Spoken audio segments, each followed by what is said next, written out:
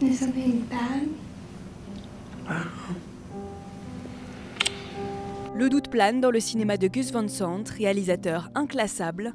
Alternant film indépendant et hollywoodien, cet Américain ne s'est jamais rien laissé dicter depuis ses débuts avec Malanoche en 1985.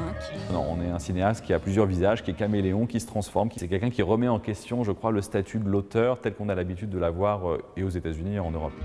L'humain forme le centre de ses préoccupations. Gus Van Sant narre la vie des oubliés. Souvent sous-entendu, ses messages passent tout en finesse. J'essaye d'humaniser mes personnages pour que vous les connaissiez, pour qu'ils vous deviennent familiers. Alors, de cette manière, ça vous apprend des choses. Quand on présente des personnages très humains, le spectateur commence à devenir plus proche d'eux.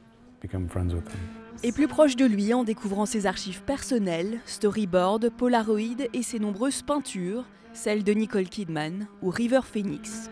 Lui qui aurait pu devenir peintre au cours de ses études d'art, s'il n'avait pas rencontré un camarade dans les couloirs de son école. En lui disant que je comptais étudier à la fois le cinéma et la peinture, il m'a dit tu ne peux pas. Tu dois manger film, dormir film, rêver de film, car c'est très difficile. Alors j'ai pensé qu'il avait sûrement raison. Je n'avais aucune idée de la manière dont on faisait un film.